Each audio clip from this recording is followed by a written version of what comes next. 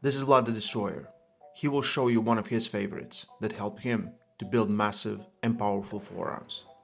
This handle is called wrist wrench or winding handle.